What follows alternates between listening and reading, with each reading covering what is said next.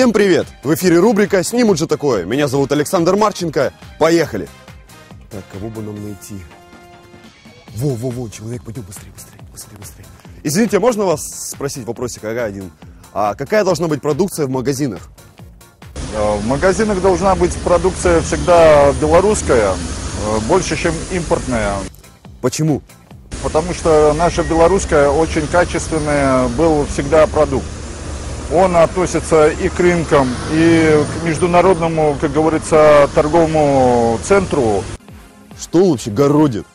Центру он всегда был естественный и очень могучий. И я считаю то, что выращенная на нашей белорусской земле продукция По-моему, его план состоит в том, чтобы сказать побольше умных и непонятных слов, дабы не показаться глупым человеком. потому что они не имеют э, общего э, квалифицированного свойства, потому что так как э, у них нету бо- много сертифицированных качества многоразовых денежных средств. Может, он инопланетянин? Кстати, в ролике есть намек на это. И я считаю то, что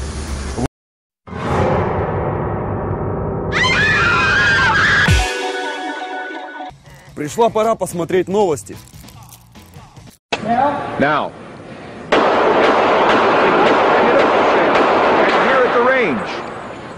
Это как? На самом деле очень прикольно, ведь он мог сказать все, что угодно. Now. Пользуясь случаем, передаю привет жене, тете Глаше и, конечно, вам, Леонид Аркадьевич. Как меня достала моя жизнь, эта работа, эти соседи дома задолбали, особенно русский алкоголик Иваныч. А в конце ваши любимые и позитивные коты и кошки.